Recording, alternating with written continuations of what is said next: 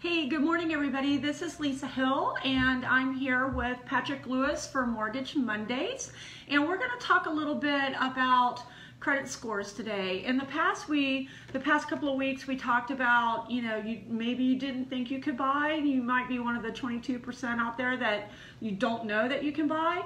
And then the last time we talked a little bit about the different um, products and things that could help you buy. Mm-hmm. Today, we're just going to touch base a little bit about do you know your credit score? So at that, I'm going to turn it over to you, Patrick. Great, thank you very much. Absolutely. Well, last week we touched on, last time we touched on um, the down payment, how to get a down payment.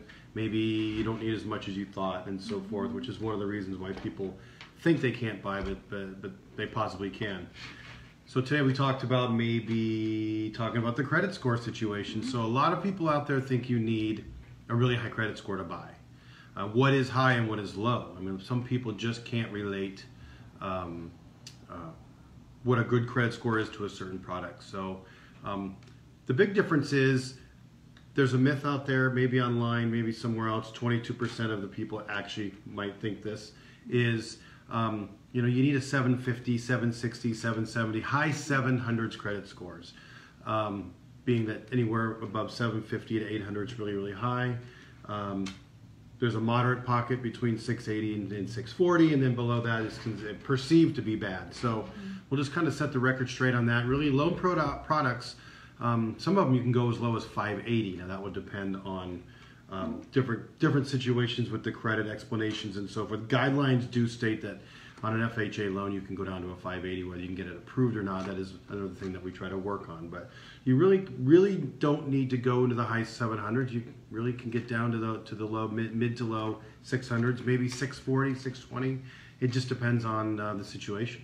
Now, on a, um, I know that I'd seen most of the lower credit scores, they go FHA. Can you get a conventional loan with a lower credit score? That's a good question. Um, it's kind of a loaded question, so there's no yes or no answer.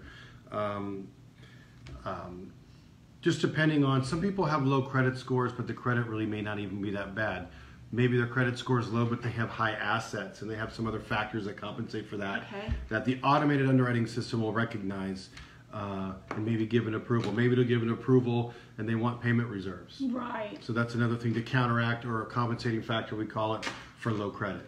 So a lot of times people come in and think their maybe their credit's not as bad as they think, mm-hmm. um, and sometimes it may be lower than they like.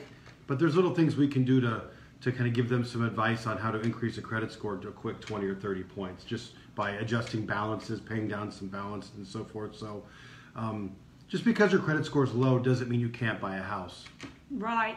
I know that um, you have helped a couple of my people, and it just, you know, it, and it wouldn't, it doesn't really take that long to adjust the credit and get it a little higher than, you know, to, the, you you did that with a couple of my right. people right. where they you know their credit score was just a little lower and then you came in and you told them what to do and it increased and and then they even get better interest rates and things like that is that correct that's correct so not yeah. only just getting the score high enough to being over maybe the minimum required for the loan program but it could be beneficial to get it higher just so you can get um, there are tiers of credit scores mm-hmm. and loan to values um, cutoffs to where maybe you can get a better interest rate. So we do take a look at those things. Mm-hmm. Most of the time, what we do is we work with people that maybe it's a little lower than they like or lower, a little bit under the minimum, but we can do some, like I said, a lot of it has to do with just paying down um, revolving balances on the credit cards. Right. In a certain amount. I have we have simulators. I'm sure other lenders have simulators. We can throw in a simulation on, you know, what can we do to get the score to X, and and that will the simulator will tell us what uh, what needs to be paid down per credit card and so forth. So there is some strategy involved on uh, getting your credit score up to the minimum and maybe getting loans approved with a lower score, but um, pointing out the compensating factors and so forth. Right. Um, now, I know that we talked, I, I, believe it was the week before last, about down payment assistance. Mm-hmm. Now, if someone has a lower credit score, does that affect their ability to get the down payment yeah. assistance? So, the down payment assistance um, for Florida housing requires a 640 credit score. So, oftentimes we'll see people come in at 625 or mm-hmm. the annoying 637 Three points just below the minimum. Yeah. Uh, and that's a pretty easy fix as long as they have credit cards. Right. Revolving debt, credit card debt is the easiest to. Um, uh, is the is really the one way you can increase your credit score by paying down balances. It's harder on installment loans and student loans where that are fixed payments that can't really be changed whether you pay down balances or not. Credit cards are that way, um, and the credit scoring system gives you credit or deducts credit depending on what your credit lines are. So the closer you are to maxing your credit cards, um, the more it's going to hurt your score. So if we can keep that in check and give some advice maybe on, on what to do to get those down a little bit, you might be able to increase your score. And we do we do that a lot. And and that would be something that could just be like a monthly. You might be able to pay it down in a month, and then the next month your credit score would increase. Is Yes. that the way that works? Well, if we identify someone has a lower, let's just say the credit score minimum is a 640 on a loan program, and we see a 630. Um, running a, you know, when I see in my credit, um, I see certain amount of points next to those credit scores of an increase, uh, what it could get to in a 30 day period. Um, and so we run the simulator to see what that is. Uh, we've done it as quick as a week.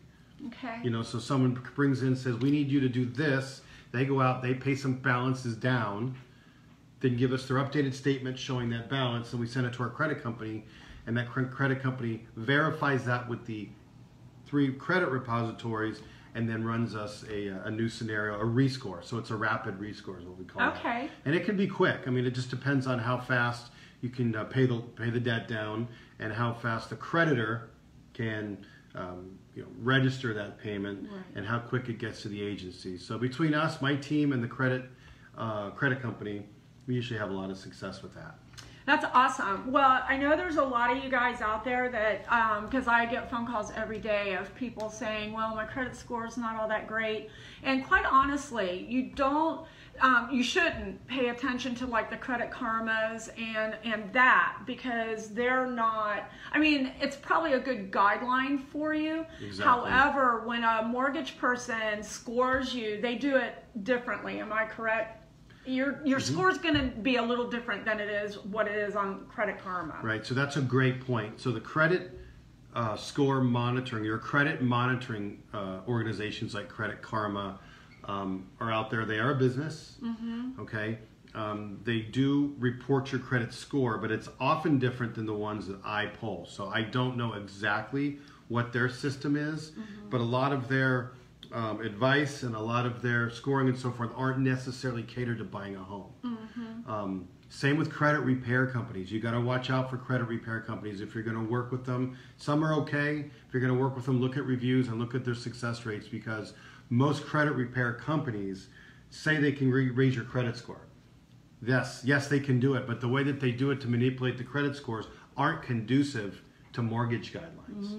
In other words, they dispute a lot of accounts. When you dispute accounts, it covers what the credit scoring sees, so it immediately increase. It can immediately increase your score. That's an example. Um, but in more, the mortgage world, we have to get those disputes removed to get an accurate score. So, not all those companies and all those all those agencies are um, are 100% correct on the scoring. We pull directly from three the three bureaus, and it's the score is the score. So that's a good point. You need to watch out for that. It's a good guide, and I think those are great to have so you know if there are inquiries Right. credit companies pulling your credit and so forth, you should know that immediately. So um, those are good for that and to get a good gauge. You know, your Capital One app on your credit card will give you a score. Right. That may be one of the three bureaus, uh, not all the three scores which we which we use to represent the mortgage. Right. Um, you know, there's other your banks have have software and so forth that can give you your credit score. So if you see one score, it's usually it, it's one of the three that we use um, to to to score for and use for credit for mortgages. That's awesome. I think I saw something the other day, and I'm gonna, I'll have to research this before we talk about it. But it was something that the three bureaus are going to start excluding from the credit scoring. Um, and I can't remember what it was. I'll, I'll think of it, and I'll get with Patrick, and we'll. There, Um, there's, there are, there's, there's a lot of updates. Um, uh, student loans is another way uh, credit scoring can impact your credit scoring. The way we look at student loans has changed um, on qualifying, actually for the better, for the easier on conventional loans. Um, you know, like I said, the, the credit scoring really comes down to installment revolving debt. Revolving debt in my experience, is the best way to change your credit scores. So all those things do have a factor, and you might want to consult, you know, um, um, your mortgage person uh, on the latest and greatest what's going on because your credit may not be as bad as you think, and that's the point.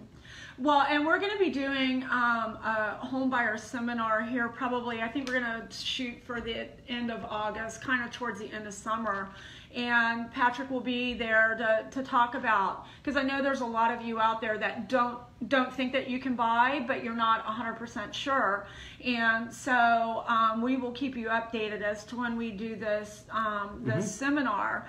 And if you have any questions or if you think that you know well, maybe I do want to buy. Maybe I can buy. Give us a call. Right. You can reach me anytime um, off of Facebook or, you know, my cell is 407 924 9393. And we'll sit down and have a consultation and right. we'll get Patrick in and we can sit down and just go over your, your, you know, your stuff and we'll figure it out. And this is the guy that will end up making the, the biggest decision for you because he's going to tell me what we need to do to find you the right house. It's all part of mortgage planning, so it doesn't cost anything. Uh, and whether you can buy now or not, you know, it's good to have a plan in place Absolutely. because oftentimes people maybe can't get to where we need them to get to credit score wise, but we can put a plan in place and they can follow that plan. Mm-hmm. Um, you know, just a goal. Yeah. You know, I'm not a, I'm not a credit counselor, right? But just a goal on um, keeping keeping your balances low uh, per the simulator. Maybe some people don't have money yet to pay it down. Right. But we make a plan, and, and, and usually it's a six month plan to pay it down, or sometimes you need to open another account to get to, to increase to get better credit to increase your score if you if you have a lack of credit. There's a lot of things that go into it. So maybe in the next coming weeks too, you know, we talked about. Um, you know, 22% of renters have the ability to buy but don't know it. And what do those 22 represent? Um, some of these myths out there, which is um, myths about down payment, which we talked about a couple mm-hmm. weeks ago. Mm-hmm. Today we talked about credit. It may not be as bad as you think. Uh, sc- scores may not have to be as good as you think. So, right. you know, consulting people like us can help. Right. And maybe in the future weeks we could talk about the, the employment situation. There might be mm-hmm. some myths about mm-hmm. employment. Absolutely. And even bankruptcies and foreclosures and how that plays into um, not just credit scoring. Uh, does take quite a bit of time to recover from that credit scoring wise, but maybe not as much time as you think to be able to get into another house. Absolutely. So we can we can probably touch on those areas and try to debunk myths as we go, um, so we can we can maybe you can buy and you don't know it, and that's what our what's what our what's what our focus this summer is. That's it, and you know, and you can you can contact either one of us, and we'll sit down and have a consultation with you, and um, we'll also keep you updated on when we do our seminars because that will be full of information for you also. So give us a chat sometime. Let yeah. us ask your questions. If you have any mortgage questions, get let us know what they are, and we'll be happy to address them on mm-hmm. our future shows mm-hmm. um, because you got the expert right here. And I know a bunch of you asked me, what is the first step to buying a house? That's him.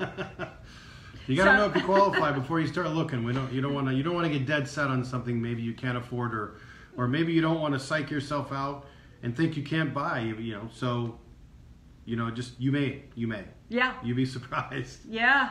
You'd be surprised. Yep. So anyway, okay guys, this is Lisa Hill and Patrick Lewis, and this was Mortgage Monday. Look for us again next week. I think we'll have another exciting topic. Always. We always have exciting topics. And shoot us some, some ideas if eh. you want a topic too. Yeah, absolutely. We'll just... be happy to answer all your questions yeah. or, you know, like I said, if you need a consultation or whatever, we'll be happy to sit with you. So anyway, you guys have a great 4th of July holiday. Be safe. Don't drink and drive do all that fun stuff. Don't mess with fireworks if you've been drinking, and just have a great. Or if you haven't week. been drinking. What did I say? You said you said don't play with fireworks when you've been drinking. I said even if you're not drinking, don't play with fireworks. Okay. Be responsible. so you guys have a great week. We'll talk to you soon. Bye-bye. bye bye